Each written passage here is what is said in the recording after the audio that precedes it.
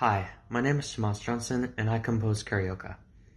Carioca was inspired by a piece of art by the Venezuelan painter Mercedes Pardo Ponté called La Vigilia. And in Carioca I explored the ideas of syncopation across the bar, as well as innovative melodic ideas over different chord changes. Hope you enjoy.